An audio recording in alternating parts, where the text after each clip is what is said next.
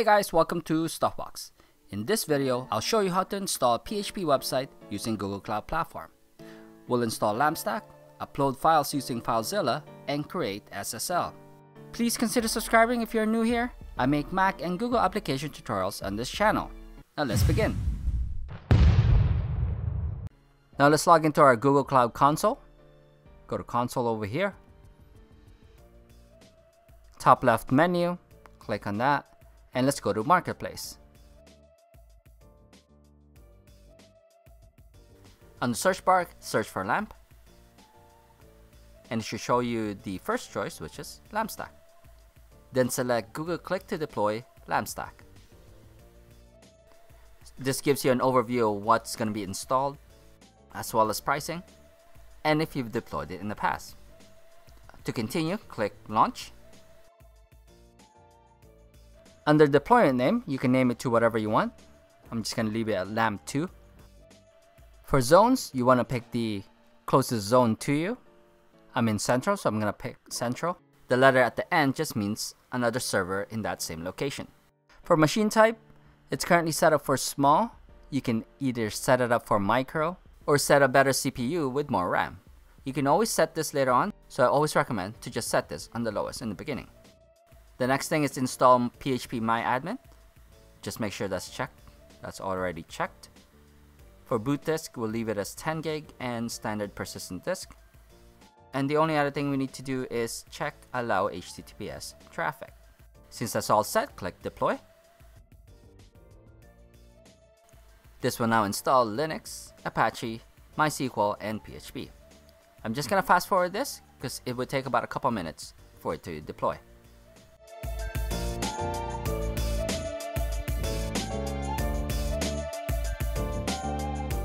Our LAMPstack is now ready. We can check it by clicking on our website using the site address over here. It gives us a redirect notice, and there's our website.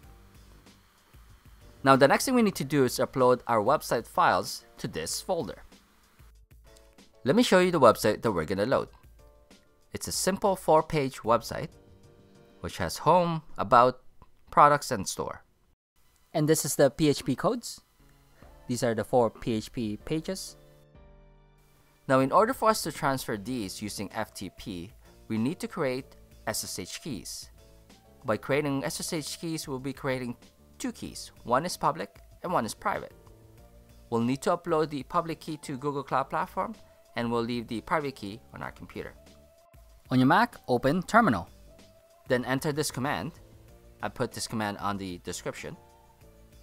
Basically ssh-keygen, which is key generator, dash t, the type of SSH key that we want to create, then dash f to specify the path of the SSH keys. We'll put the SSH keys inside a hidden folder called .ssh.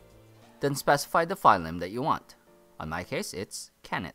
Then specify the username by putting option dash capital C and then your username, which in my case is stuffbox. Then hit enter. From there, you will be asked for a passphrase. It's not mandatory, but I highly recommend that you put one just to make it more secure. You simply type it and nothing will show up, but just type it again and reconfirm it. And then hit enter. And as simple as that, we have created our SSH keys. So now to view your SSH keys, type in cat and the location of the folder. So I'm just going to copy it from here, paste it over here, and then hit enter. Well, that was a mistake. It showed us our private key. What we actually need is our public key. So press the up arrow key on your keyboard to repeat the last command and add .pub. This will show us our public key. Okay, with that, let's copy this whole thing here, all the way from SSH. And then let's go back to our Google Cloud Platform. Click the menu on the top left, and then go to Compute Engine and select VM Instance. Now select your VM instance. If you scroll down on the page, look for the SSH keys. We can see that there's nothing there right now. So what we want to do is click Edit. Then scroll down again. And over here, you want to click on Show and Edit. under SSH keys. This is where we're going to paste the value that we copied. I'm going to press Command V over here. And you can see it shows you stuff box, which is our username. And then scroll all the way down and click Save.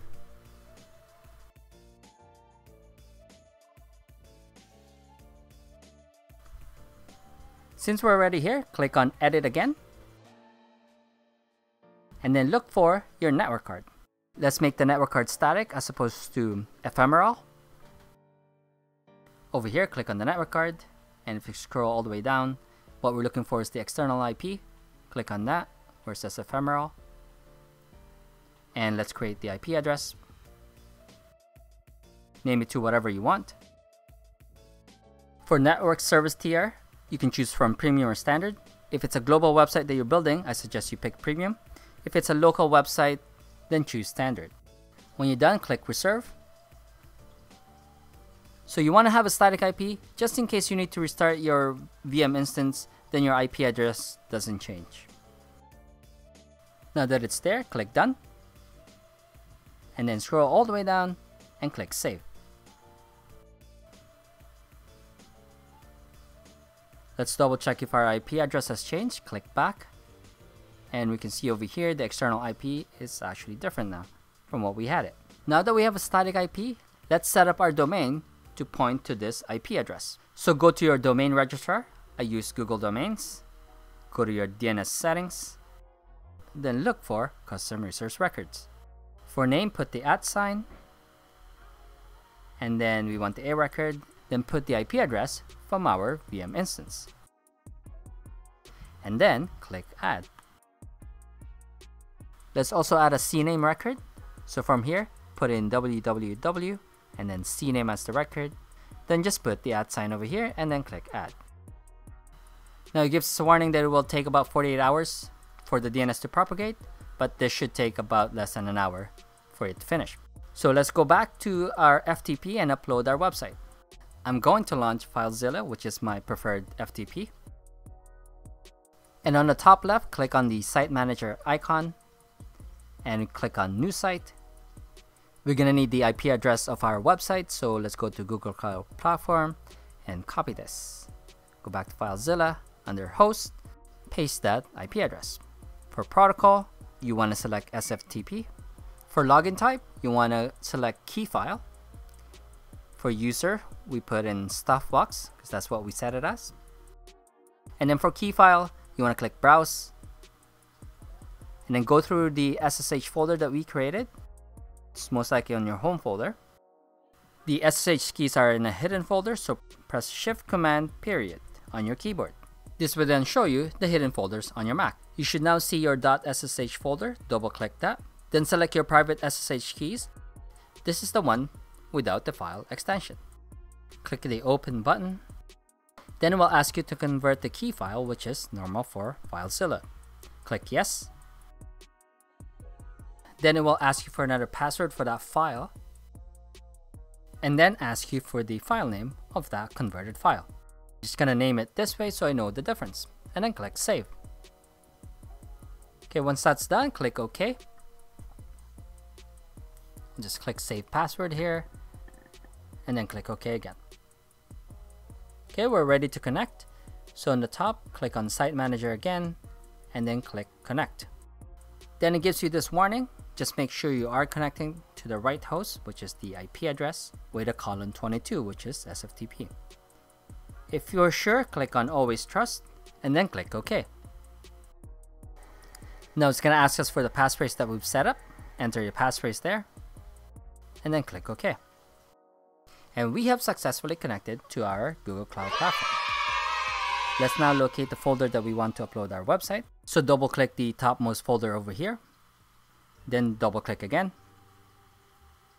until it shows you all these folders. Scroll all the way down and look for VAR. Double click that. And then scroll all the way down again and look for www. And then double click the HTML folder.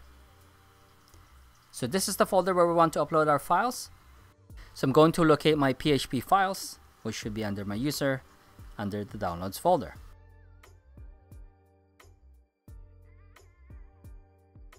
So here are my files. I'm just going to test one file to drag to my HTML folder. I'm going to try the index.php. And it looks like it failed. This is most likely because of permission error. So let's go back to our Google Cloud Platform. Go back to your VM instance and click SSH. I'm going to type in the list command so I know what folders are in here. Our folders are not here. Now let's go to the root directory by typing cd space forward slash. Then execute the list command again, just to make sure that we're in the right directory. And this is exactly what you should see. You should see the var folder on the bottom. Now let's go into that folder by changing our directory again by entering this command. If we enter the list command again, we should see the HTML folder. Now we want to know what the permission is on this folder. So type in this command.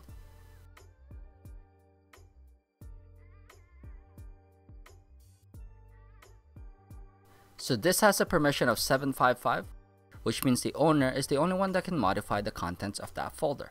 So let's modify the permission by typing sudo space chmod space 777 and then the folder name. This command means that anyone can modify the folder and its contents. Then execute the stat command again just to see if it worked press the up arrow key on your keyboard, and it looks like it worked. So now let's go back to FileZilla, and let's drag one file again just to make sure that it works. And that seems to be good, so we're now ready to upload all our folders.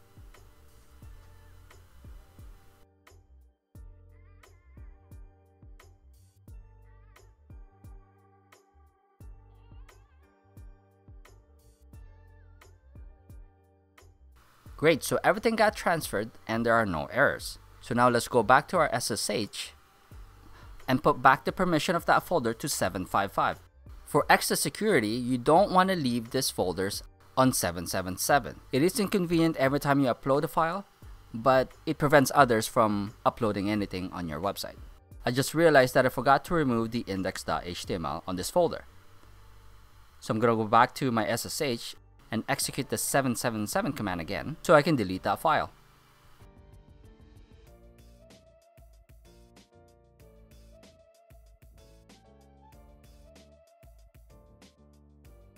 So now we're ready to put it back to 755 again.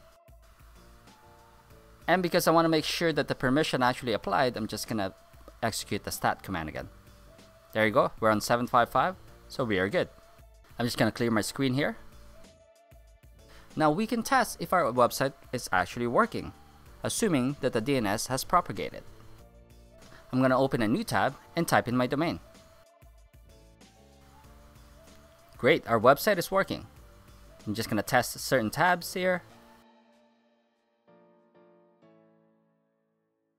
Now the next thing we want to do is make this website secure by adding an SSL. We'll do that by adding free SSL called Let's Encrypt. It should be the first hit on Google, but just make sure that it is the right website. From here, click on Get Started, and we do have shell access, which is SSH. Uh, let's click on certbot ACME here over here.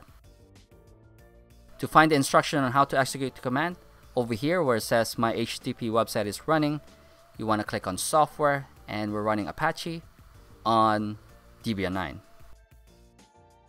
Now, how do you make sure that you're actually running that? Go to your Google Cloud Platform. Under the menu, scroll all the way down and look for Deployment Manager. Then if you click on your deployment and click on more about the software here, you should see Apache and Debian 9. So let's go to let'sencrypt.org to look at the instructions on how to create the SSL. Over here it says that we need to be on SSH I already have my SSH open from the previous session. So next, let's copy the install certbot command and execute this on our SSH. I'm just gonna go out from this folder by typing cd space forward slash. This will bring us back to the root directory. Now paste the command here and then hit enter. It will confirm if you want to install it. Press Y for yes. If you're finding value in this tutorial so far, please click the like button and help me out. And if you have any questions, leave it in the comment below. Now let's look at the next instruction. The next one is install and get the certificate. So we simply copy this, then execute this on our SSH.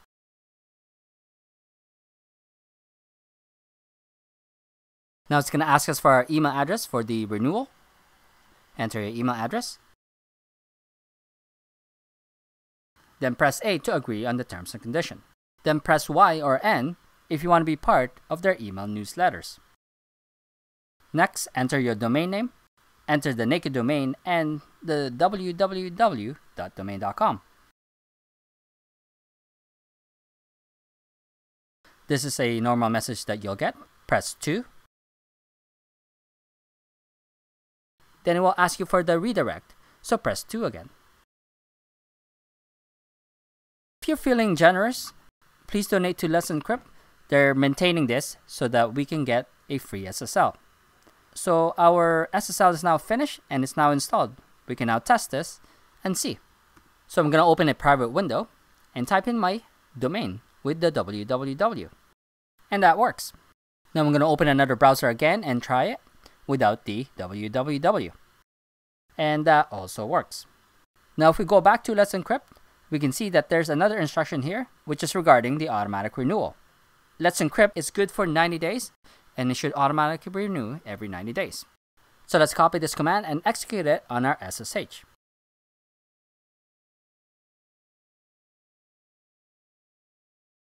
So that looks good. It looks like it has automatically renewed. If you want to know how to install WordPress on Google Cloud Platform, I created this video which also includes SSL installation. Thank you very much for watching. I hope this helped you. Please subscribe to this channel if you want to see more.